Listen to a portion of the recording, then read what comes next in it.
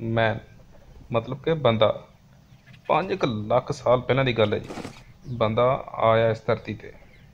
ਜੀ ਹਾਂ।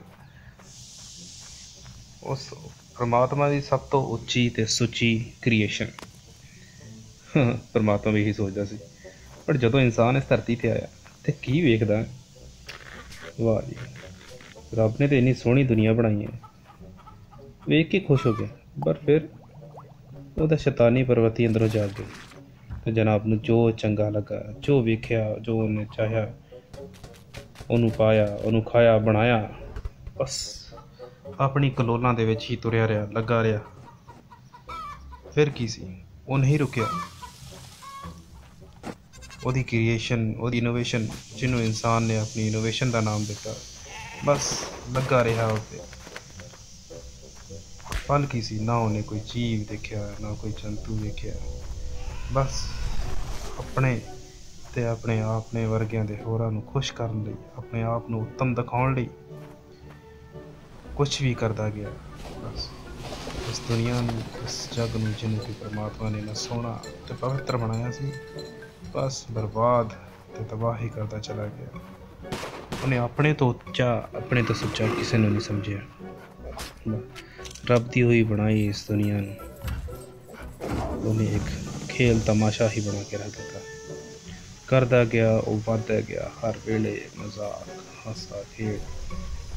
ਉਹਨੇ ਇਹਨੂੰ ਕੀ ਨਾਮ ਦਿੱਤਾ? ਇਨੋਵੇਸ਼ਨ ਕ੍ਰੀਏਸ਼ਨ ਡਿਵੈਲਪਮੈਂਟ ਪਰ ਉਹ ਭੁੱਲ ਬੈਠਾ ਕਿ ਇਸ ਡਿਵੈਲਪਮੈਂਟ ਇਸ ਕ੍ਰੀਏਸ਼ਨ ਇਸ ਇਨੋਵੇਸ਼ਨ ਦੀ ਕੀਮਤ ਕੀ ਹੈ?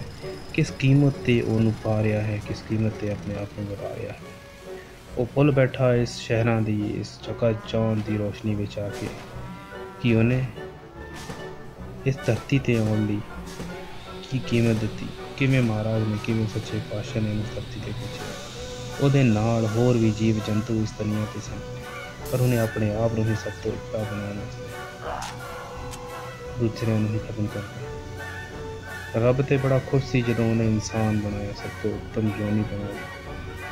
ਅਤੇ ਤੇ ਆਪ ਦੇਵੀ ਦੇਵਤਾ ਸੋਚਦੇ ਸਨ ਕਿ ਇਸ ਕ੍ਰੀਏਸ਼ਨ ਦੇ ਵਿੱਚ ਇਸ ਦੇ ਵਿੱਚ ਪਰ ਨਹੀਂ, ਹੁਣ ਤੇ ਖੁਦਾ ਵੀ ਹੁਣ ਤੇ ਰੱਬ ਵੀ ਵੇਖ ਕੇ ਪਛਤਾਉਂਦਾ ਹੋਵੇਗਾ ਮੈਨੇ ਆ ਕੀ ਬਣਾਇਆ ਤੇ ਇਹ ਕਿਉਂ ਬਣਾਇਆ, ਕੀ ਤਾਂ ਗਲਤ ਹੈ ਮੈਂ ਇਹਨੂੰ ਹੀ ਕਿਉਂ ਬਣਾਇਆ?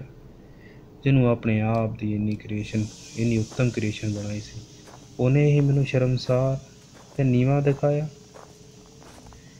ਆਓ ਸੋਚੀਏ ਮੇਰੇ ਦੋਸਤੋ ਕਿ ਅਸੀਂ ਕਿਸ ਰਾਹ ਵੱਲ ਜਾ ਰਹੇ ਹਾਂ। ਅਸੀਂ ਆਪਣੀ ਇਸ ਦੁਨੀਆ ਨੂੰ ਤਾਂ ਕੀ ਬਚਾਉਣਾ ਹੈ? ਅਸੀਂ ਜਿਹੜੇ ਪਾਰਗ੍ਰਹੀ ਜਿਹਨੂੰ ਆਪਾਂ ਏਲੀਅਨਸ ਕਹਿ ਰਹੇ ਹਾਂ, ਆਪਣੀ ਸੋਚਾਂ, ਖਿਆਲਾਂ ਵਿੱਚ ਤਾਂ ਫਿਲਮਾਂ 'ਚ ਦੇਖਦੇ ਹਾਂ ਕਿ ਉਹ ਵੀ ਇਸ ਧਰਤੀ ਤੇ ਕਬਜ਼ਾ ਕਰਨਾ ਚਾਹੁੰਦੇ ਹਨ। ਪਰ ਕੀ ਹੈ? ਕਦੀ ਸੋਚ ਕੇ ਵੇਖੋ। ਉਹ ਹੁਣ ਇੱਥੇ ਆ ਕੇ ਕੀ ਕਰਨਗੇ? ਉਹ ਵੀ ਇਸ ਧਰਤੀ ਤੇ ਨਹੀਂ ਆਉਣਾ ਚਾਹੁੰਦੇ। ਨਾ ਹੀ ਆਉਣਾ ਚਾਹਣਗੇ। ਜੋ ਹਾਲ ਅਸੀਂ ਇਹਦਾ ਬਣਾਇਆ। ਤੋਂ ਇੱਕ ਵਾਰ ਸੋਚੀਏ ਆਪਣੀ ਇਸ ਦੁਨੀਆ ਨੂੰ, ਆਪਣੀ ਇਸ ਧਰਤੀ ਨੂੰ, ਜਿਹਨੂੰ ਮਹਾਰਾਜ ਨੇ, ਜਿਹਨੂੰ ਪਰਮਾਤਮਾ ਨੇ ਸਵਰਗ ਬਣਾਇਆ ਸੀ, ਉਹਨੂੰ ਨਰਕ ਵੱਲ ਨਾ ਤੋਰੀਏ, ਉਹਨੂੰ ਨਰਕ ਵੱਲ ਨਾ ਤੋਰੀਏ।